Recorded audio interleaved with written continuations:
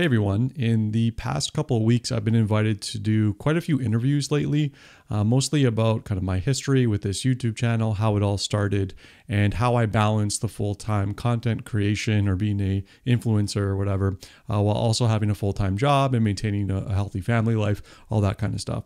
Uh, so I wanted to take a couple minutes or a little bit of time to talk about some of these topics and also some other questions that got submitted, mainly in the area of career advice from folks that are just looking to try and build themselves up and get a little bit better at cloud development and just tech in general. Um, so we're going to answer like four or five different questions here that were submitted by folks. So that's the intention of this video. So hopefully it gives you a little bit of insight into how I balance these things and how I kind of maintain a, a healthy lifestyle. So the first question is how did you start this initiative and what motivates you to continue creating educational content? So I started this YouTube channel, I want to say in about 2019, and I knew that I I wanted to start a YouTube channel. I just didn't know what the topic was about. I'd watched a video from another content creator talking about kind of the benefits of having a YouTube channel, and I thought that I wanted to do something creative. This was just before COVID started, uh, so I decided I wanted to do something, and um, it wasn't clear to me that AWS would be the topic initially.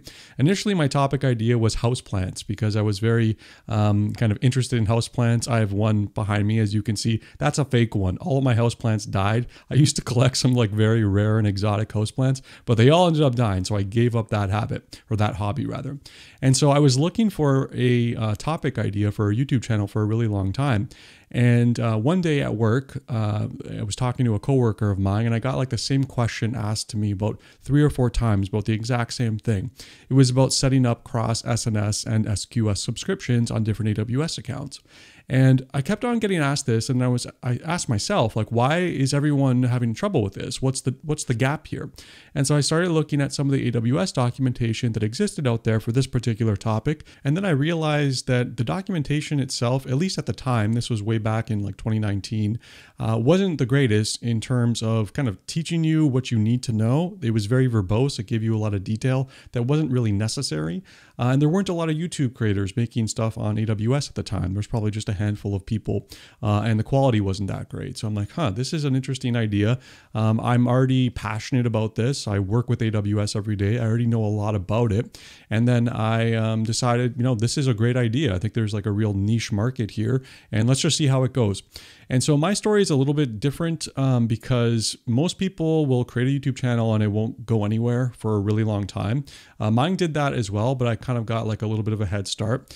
So my first kind of couple months, I want to say, of making the content, like I didn't really get a whole lot of views. I had like one post that I did on on Hacker News at the time that um, got some eyes on it, so it got me an initial bunch of subscribers. Uh, and you can go check out my old videos; like they were terrible. The content was good, but you know the the the um, me my speaking style. I, I, was saying ums and uhs like constantly, almost every other word. Very odd to be on camera and then listen to your own voice afterwards. But as you can see, I've gotten a little bit better at it. Uh, but anyways, so I started creating all these different videos. I was doing like one or two a week. Uh, and then I got really lucky. Um, I got one of my videos that was on step functions or something like that, got retweeted by Jeff Barr, who is the VP at Amazon of um, I can't remember the term, but there, there's a he's got a particular role. Go check him out on LinkedIn. But this guy is uh, developer advocacy. That's what it is, developer advocacy. Uh, so he's the VP of that or something along those lines. And so he retweeted one of my videos, and I got like a whole bunch of subscribers. So I was really really happy, and that kind of like jump started things. Um, so that's kind of like how it started. And then over time, I've just been like really consistent because I get a lot of kind of joy out of doing this. Um, initially, all the videos that I made were mostly about topics that I already knew about because I was working with AWS for so long. Uh, so it was pretty easy for me to make content. It was just like drawing stuff out of my head and then finding some supplemental information on the internet and then just putting it all together. Um, what you'll find very quickly is that you, you tend to exhaust all of your ideas so that um, you need to start going and learning topics deliberately in order to create a YouTube video on it. So obviously that takes a little bit longer, well, a lot longer because it's a brand new topic. And then you need to think about how am I going to explain this to someone that doesn't know anything about what I'm talking about here? And how am I going to be confident that what I'm saying is actually correct? Like you need to have a certain quality bar so you're not spitting out uh, incorrect information. So that's a, another kind of difficulty that came into this. Um, so that's kind of how I got started and just kind of been consistent over time and uh, learned a lot about YouTube in the process. Um, so that's kind of my journey. And uh, the second kind of side part of this question is how do you keep up with the fast paced changes in the AWS ecosystem? And so this question is interesting because um, I use a bunch of different approaches that kind of are all over the map.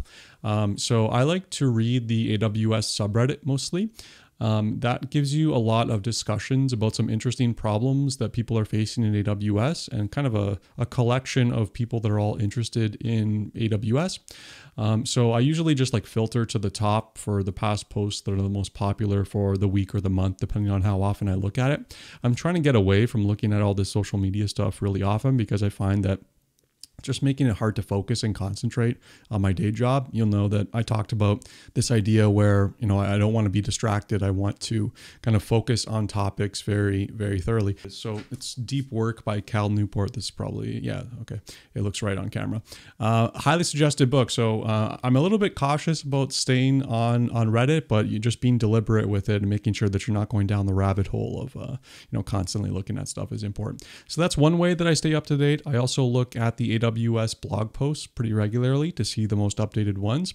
I'm subscribed to their RSS feed, so I do take a look pretty often. Um, another way is like I'm just constantly talking to people at work too. Like, what are the developments? You're talking to other people that are also into it. So this information just kind of comes out.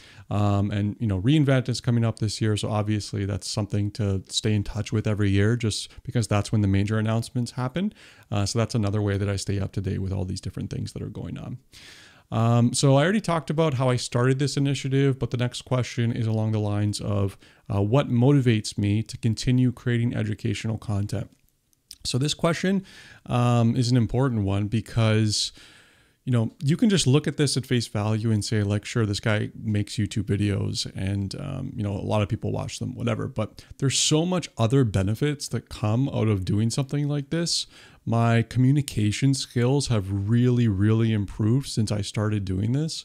Um, I'm able to really think about, like, take a complex, abstract technical problem or technical topic and really boil it down to the fundamental principles because that's what you have to do to make a good YouTube video, right? You need to take a hard thing and ask yourself, how can I explain this to a person that doesn't know anything about what I'm saying in a way that they'll get it, that they'll understand pretty much right away.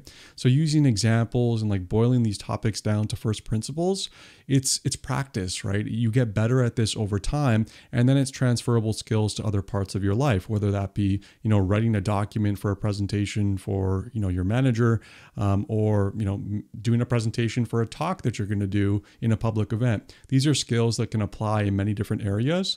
So it's definitely, definitely helped. Um, and that kind of keeps me motivated as well because I know that I'm constantly improving and it's neat to see kind of how far I've come.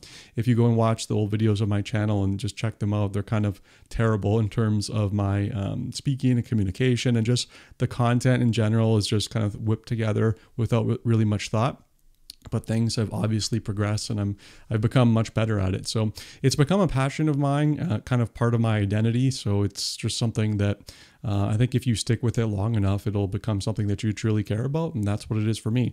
I love teaching people. Uh, I have like this deep desire, like buried desire to to become some kind of educator at some point in my life, um, whether that be through this channel or through like some career path. I don't know what that looks like, but I'm suppressing that for now. But who knows where I'll go?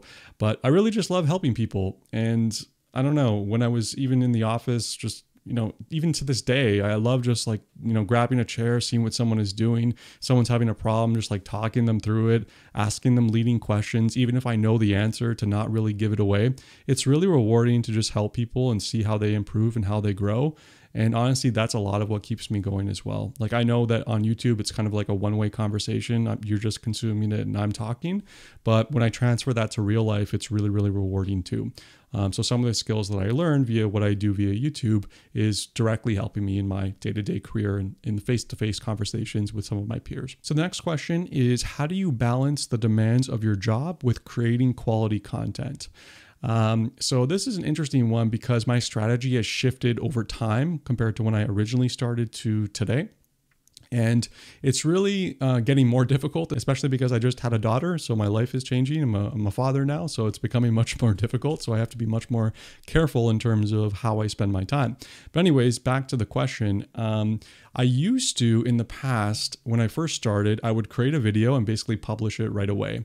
And um, it creates this sense of burnout or like, it, it, takes the fun out of it when you do that i think. I truly believe that like youtube rewards consistency and if you talk to some other youtubers like you will very quickly see that consistency is extremely important for it to continue pushing your content out. So even if you have like two or three videos that are ready like you shouldn't necessarily publish them all at once. You should space them out so that you're basically telling youtube that i'm consistent like i'm continued to be invested in this. You should keep on suggesting my content to other users or to other viewers.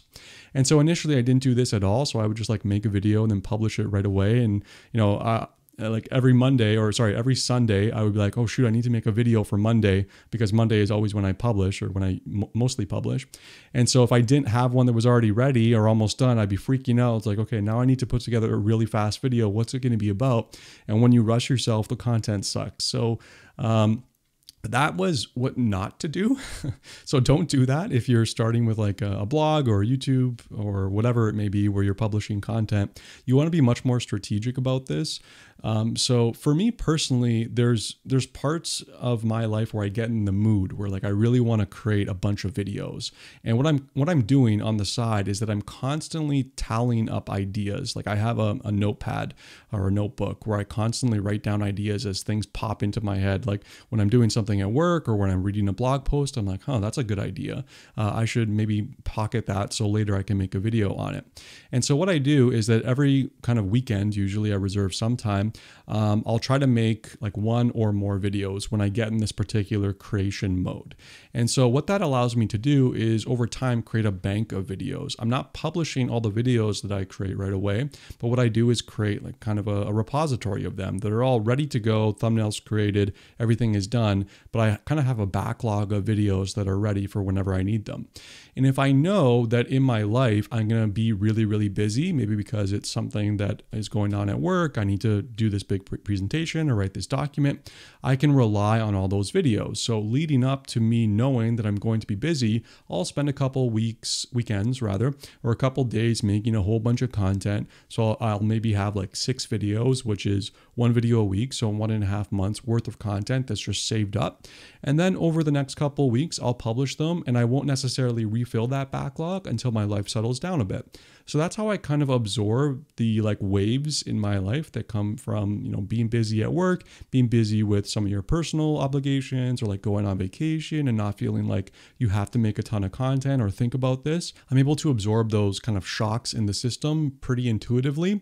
And this system has worked really, really well for me. And it just kind of helps me maintain a balanced lifestyle. So, so that's how I do it. If you were ever wondering, um, that's why you'll sometimes see that I don't make videos um, necessarily that are always completely up to date with what's going on in the AWS land, just because you know they usually get added to a queue. Um, so that's how I, I keep up and how I do this. And another thing to keep in mind too is that I guess my my life is changed to a point where I'm constantly thinking about this stuff. So it just, like I said, it's kind of part of my identity. So this is just what I do. I constantly think about what's my next video? How do I explain this? So that by the time I hit the computer, I already have a bunch of ideas in my head on how I want to portray this. Uh, so I go for like productive walks where I take a topic and I'm like, how do I, how do I present this? Or how do I boil out the, the first principles here that I need to explain? Or what's the method I'm going to use to explain this topic? So that's what I do with my spare time. So it's always running in the back of my mind. Uh, so that's kind of how it works. Um, so I think that answers that question. Um, the other one is kind of more career and um, just cloud related. Um, so this one is what's the one piece of advice you wish someone had given you when you started? Uh, I assume this question means when I started, like YouTube or my tech career. I'm not sure what that is, uh, but let's just interpret this by maybe saying like my ter- tech career or like learning cloud. Maybe both. I'll tackle both of those things. So I think one important piece of advice that I've learned is to always be hungry and always be learning. And when you're in situations where you find yourself that you're not learning anymore, then it's probably time for a change. Um, I always feel like if you're not constantly improving yourself then what's the point? Like you're just going to be in, in stasis and not really getting anywhere in your career, but also in terms of like personal satisfaction. Like if I'm not getting better at something, then what's the point, right? Uh, so I always tell people, like they always ask me this question um, when they're they're on a team at work, and you know you can switch teams to work on different problems, and they're trying to decide should I switch teams, should I stay where I am, will this affect my career, all those kinds of things. My advice to those people is always that if there's if you're not learning anymore there's no one on your team that is better than you that can teach you something in some particular area then it's probably time to look somewhere else uh, I think that in order to constantly be getting personal satisfaction, you need to constantly be learning and pushing yourself. Some of this can be kind of through personal work that you know your own personal research and talking to people outside of your company but also from your peers it's also very important it's very important to have a, a, set of peers that you're working with as part of your, your work life that you can learn from. Because if everyone is doing garbage and no one knows that this is garbage, then you know how are you going to know that garbage is not the norm, right? It's only when you get told that this is hot, a hot mess or hot garbage that you start to think, oh, maybe there's a different way of doing things. And so if you're if you don't have someone to give you feedback or to learn from or to constantly push you forward, then it's it's probably time for a change. Um, so that's at least my perspective, and that's a piece of advice that I think is very, very helpful to make sure that you're constantly pushing the envelope and keeping yourself moving forward, both in terms of your personal satisfaction and your career. Um, so that is it for my Q&A. Uh, if you enjoyed these types of videos, then please let me know. Feel free to leave a question in the comment section and I'll try to tackle it in the next Q&A. Uh, I like to talk about these career kinds of things or just personal development, personal improvement. Uh, so if you want to ask those kinds of questions, then feel free. Also, you can submit some technical questions. Won't guarantee I'll answer those though. But thanks for your time. And if you enjoyed this, please don't forget to like and subscribe to the channel. Really helps me out. And I will see you in the next one.